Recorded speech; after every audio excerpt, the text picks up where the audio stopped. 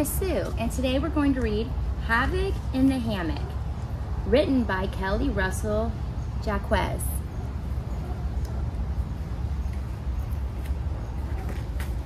One tired tortoise tries to find a space to rest. She climbs into a hammock, sighing, ah, oh, this is the best.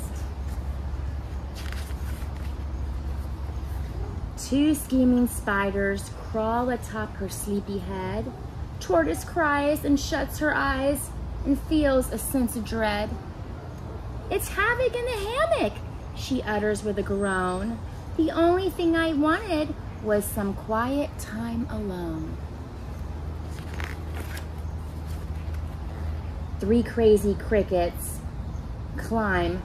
For them, it's time to play.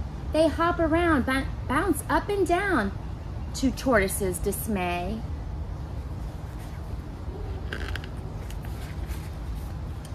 Four mischievous mice line up on top of one steep side. They all slide down the hammock and enjoy their fun new ride.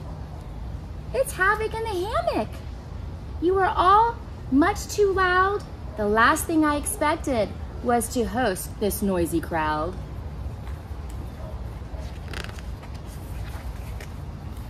Five green grasshoppers show their special ninja tricks. With cartwheels, handstands flying high, and fancy spinning kicks. Six limber lizards leap atop her hard brown shell. Tortoise starts to shake and sputter, letting out a yell. It's havoc in the hammock. I really need a nap. If I don't get to go to sleep, I think that I might snap.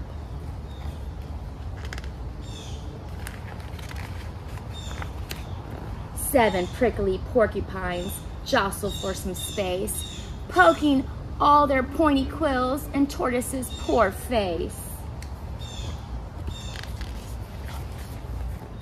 Eight cheerful chipmunks then perform a juggling show, dropping acorns plunk, plunk, plunk on tortoises down below. It's havoc in the hammock. I need to stop this riot. What's a lady gotta do to get some peace and quiet? Nine rowdy rabbits hop into the lively fray.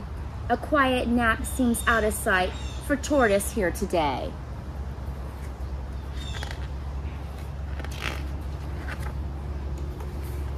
Ten busy bluebirds land and spread their feathers wings. Forward, backward, up and down, see how the hammock swings. It's havoc in the hammock.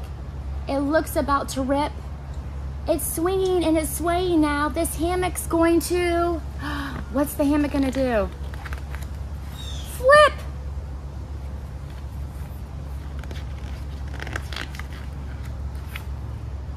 The animals all hang their heads and slowly trudge on home.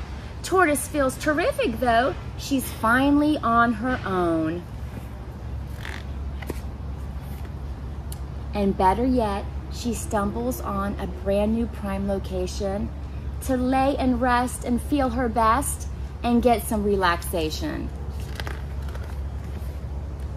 This sweet new space that I have found is peaceful and serene.